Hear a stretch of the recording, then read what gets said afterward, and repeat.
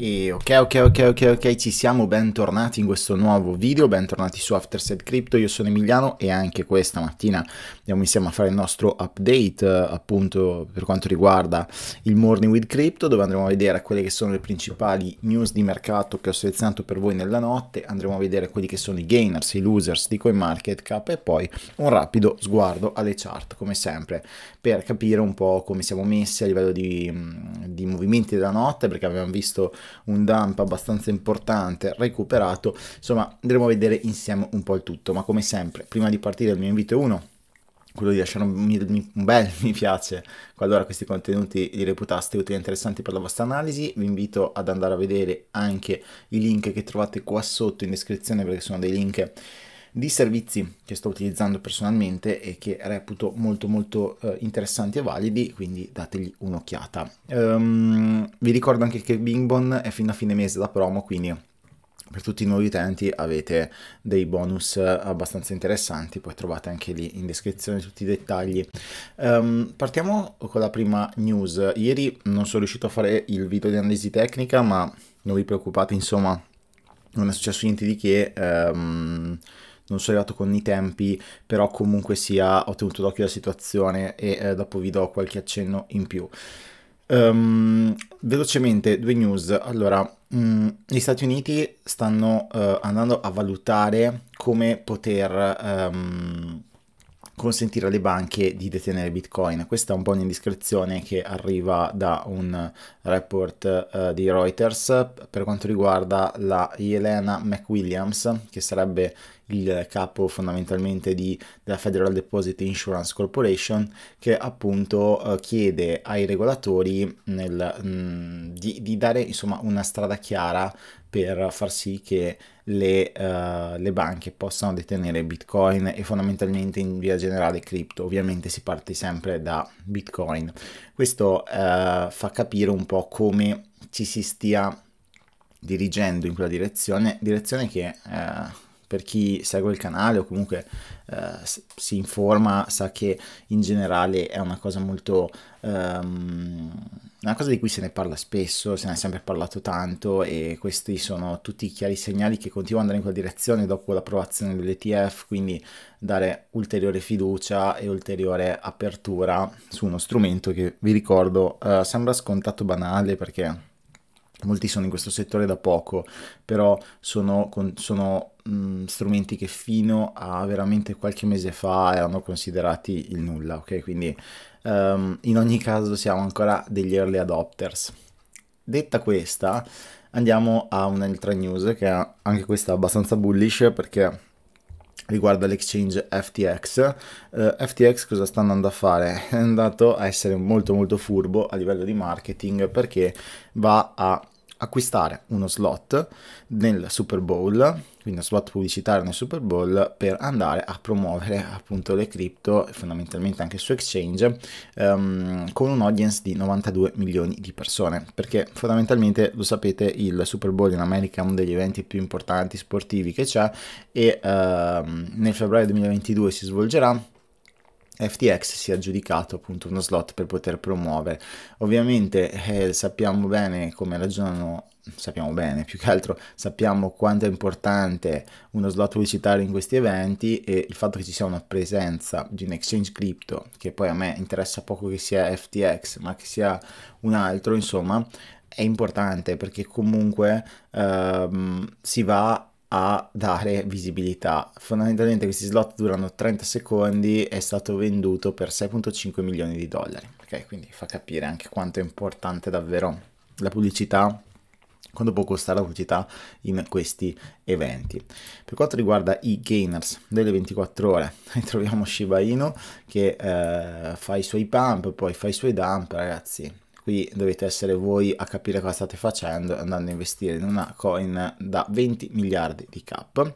Olo più 17 Cosmos più 12 T-Fuel più 12 Helium Engine. Insomma sto guardando è un po', è un po comunque una giornata positiva per le altcoin è andata abbastanza bene non c'è stato particolare particolari movimenti negativi e infatti lo vediamo anche tra i losers non troviamo granché se no KB con settimana positiva Thor meno 5 ma con un più 72 settimanale eh, Riveni, CP vedete molti di questi sono tutti con settimana molto positiva quindi fondamentalmente non c'è stato chissà che disastro sulle altcoin ma anzi hanno comunque performato abbastanza bene nonostante il fatto che questa notte comunque sia c'è stato un dump con dei volumi anche interessanti rispetto alle ore precedenti.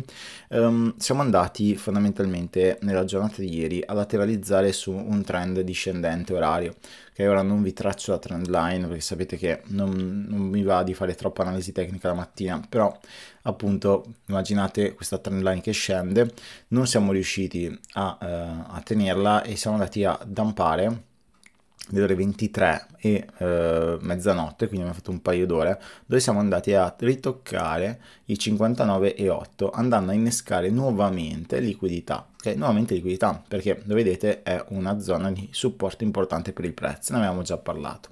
Ora siamo andati a rimbalzare un po' come l'abbiamo già visto qui l'abbiamo già visto qui quindi stiamo andando a fare quel movimento là dove le altcoin fondamentalmente mh, mm, non hanno subito grandi scossoni sono tornati più o meno dove ci, si trovavano ieri se non alcune addirittura in crescita.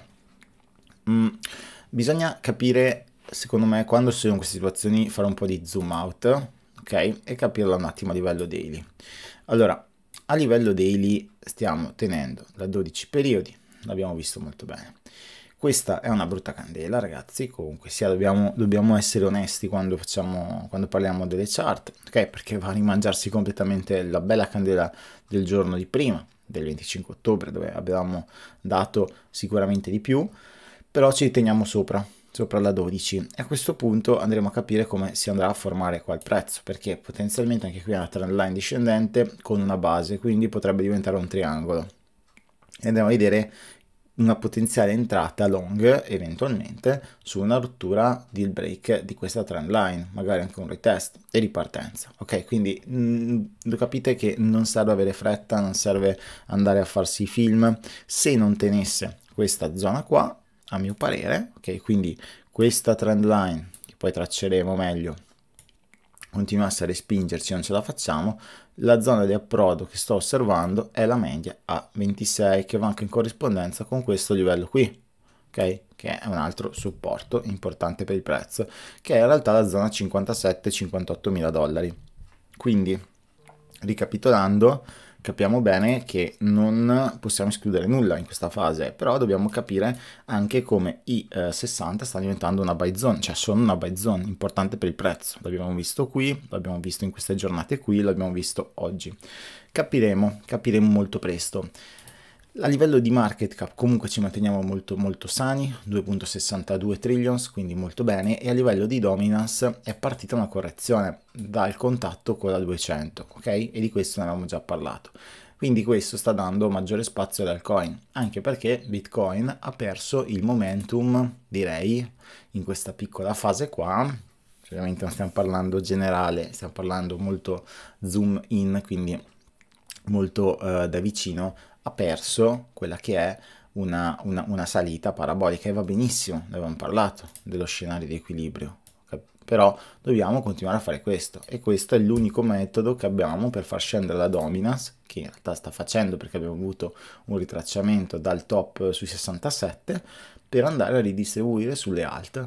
E infatti anche lo stesso Ethereum contro, uh, contro dollaro okay, sta andando a fare il suo all time high ok? Sta andando a 4287, prendendo parte e spazio sicuramente da un Bitcoin che ha perso esatto quel momentum lì. Anche qui attenzione a Ethereum perché contro dollaro è molto uh, verticale e il, la media a 12 è ancora distante e quindi lo sappiamo, gli scarichi, i flash dump, cose del genere succedono, anche più profondi, cose di questo genere qua succedono, quindi stiamo attenti a non mettere gli stop proprio qui, perché sono le zone dove il prezzo va a pescare liquidità.